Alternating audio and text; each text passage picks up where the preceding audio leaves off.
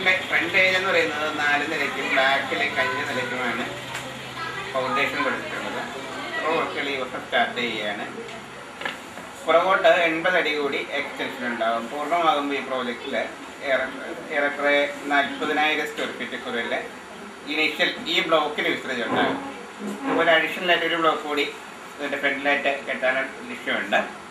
രണ്ടും കൂടി ചേർത്ത് അറുപത്തി അയ്യായിരത്തോളം സ്ക്വയർ ഫീറ്റുള്ളൊരു ബിൽഡിംഗ് ആണ്. ഭാവിയിലേക്ക് പ്ലാൻ ചെയ്യുന്നത്. സ്പാസ്റ്റിക് റിഹാബിലിറ്റേഷൻ മെയിൻ എയിമായി സ്വീകരിച്ചുകൊണ്ട് എഴുന്നൂറ് മുതൽ എഴുന്നൂറ്റൻപത് പേർക്ക് വരെ അക്കോമഡേഷനും നാനൂറോളം പേർക്ക് വന്നു പോയി ട്രെയിനിങ് എടുക്കാൻ സാധിക്കുന്ന ട്രെയിനിങ് സെന്ററുമായിട്ടുള്ള ഒരു ലക്ഷ്യമാണ് ഇതിന് പിന്നിലുള്ളത്.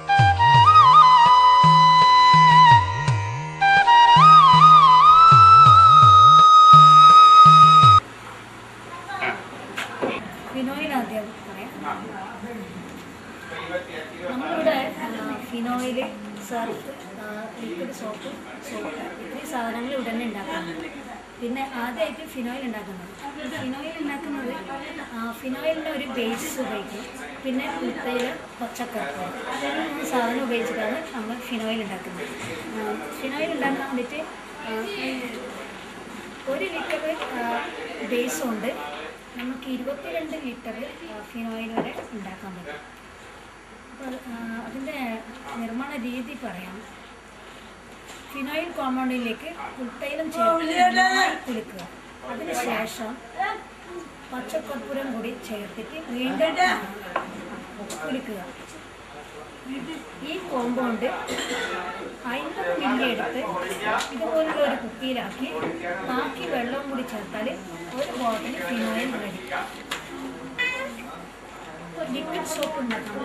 ലിക്വിഡ് സോപ്പ് ഉണ്ടാക്കാൻ വേണ്ടി ആവശ്യമായ സാധനങ്ങൾ acid slurry sodium sulphate caustic soda വെള്ള കളർ.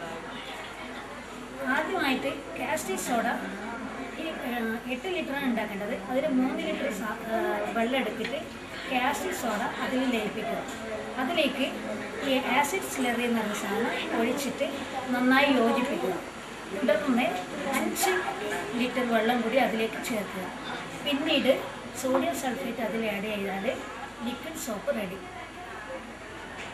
ഹാൻഡിൽ സോപ്പ് ഉണ്ടാക്കാൻ വേണ്ടിയിട്ട് നമുക്ക് ആവശ്യമായ സാധനം മുന്നൂറ്റമ്പത് മില്ലി വെള്ളം ഒന്ന് നൂറ് എണ്ണ വെളിച്ചെണ്ണ. പിന്നെ അതിന് ഏതാണ് എസൻസ് വെച്ചാൽ ആ എസൻസ് പിന്നെ കാസ്റ്റ് സോഡ പിന്നെ റോസ് എന്ന് പറഞ്ഞിട്ട് അത് ഫോം ബൂസ്റ്റർ പിന്നീട് കളർ ഇത്രയും സാധനമാണ് വേണ്ടത്. ആദ്യമായിട്ട് കാസ്റ്റിക് സോഡ മുന്നൂറ്റി അമ്പത് മില്ലി വെള്ളത്തിൽ ലയിപ്പിക്കുക. ഈ ഇത് ലയിപ്പിച്ചാൽ ഈ കാസ്റ്റിക് സോഡ ചൂടാണ്. അപ്പോൾ ആ വെള്ളത്തിൽ ലയിപ്പിച്ചാൽ അത് ആ ചൂട് തണിയാൻ വേണ്ടിയിട്ട് രണ്ടര മണിക്കൂർ വരെ സമയമെടുക്കും. അപ്പോൾ അത്ര നേരം അത് തണുക്കാൻ വേണ്ടിയിട്ട് വെക്കണം.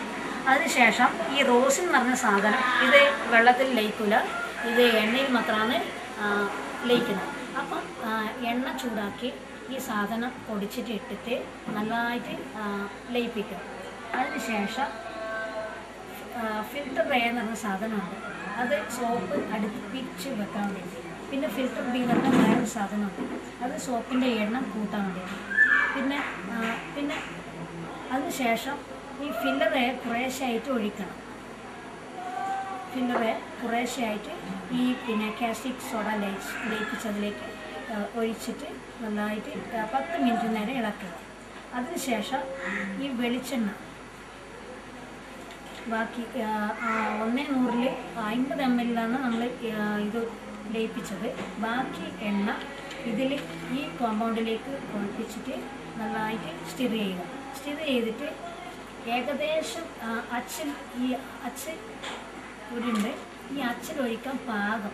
അതായത് നമ്മൾ ഏകദേശം അതിന്റെ കട്ടിയായി എന്ന് കാണുമ്പോൾ നമ്മൾ ഇത് ഈ അച്ചിന്റെ സൈഡിൽ ബയോലിൻ ബയോലിൻ എന്താ വെച്ചാൽ ഈ സോപ്പ് ഇതിൽ പിടിച്ച് പിടിക്കാതിരിക്കാൻ വേണ്ടി ബയോലിൻ പുരട്ടിയതിന് ശേഷം ഈ കോമ്പൗണ്ട് ഇതിലേക്ക് ഒഴിക്കുക. ഒഴിച്ചിട്ട് ഒരു രണ്ട് മൂന്ന് മണിക്കൂർ കഴിയുമ്പോൾ ഏകദേശം ഇത് സെറ്റാണ് soap surf liquid soap phenyl paper cover എന്നിവ ഉണ്ടാക്കുന്നു. ഇതിന് വേണ്ടിയിട്ട് നമ്മൾ ഇതുപോലുള്ള പത്ത് ആൾക്കാർക്ക് ട്രെയിനിങ് കൊടുക്കുന്നുണ്ട്. ഇവിടെ ശേഷം ഈ നല്ലത് വരുത്തണം.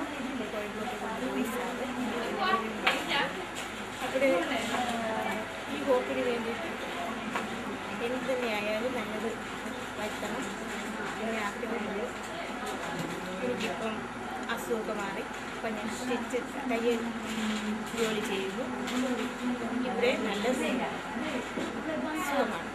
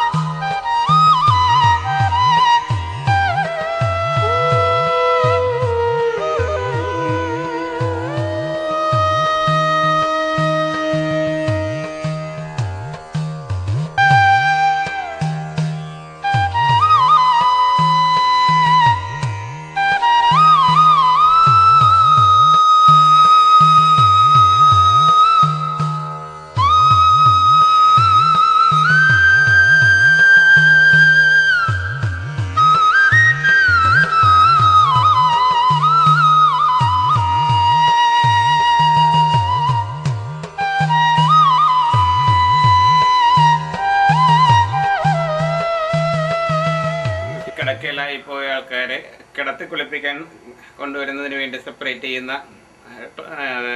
വലിയ ടോയ്ലറ്റാണ്. ആ ടോയ്ലറ്റ് അതിന്റെ വീട്ടുകാരിൽ ഇരിക്കുന്നവരെ ഉരുട്ടി കൊണ്ടുവരാൻ സാധിക്കുന്നത്. ഈ മനുഷ്യാമത്തിന് കാരണം പണി പൂർത്തിയാക്കാൻ സാധിക്കുന്നില്ല. അങ്ങനെ വെയിറ്റ് ചെയ്യുന്നു. മുന്നറി കിട്ടുന്നതിനനുസരിച്ച് വൈകാതെ ഇത് രണ്ടോ മൂന്നോ മാസത്തിനിടയിൽ ഇത് പണി പൂർത്തിയാക്കാൻ സാധിക്കുമെന്നാണ് പ്രതീക്ഷിക്കുന്നത്.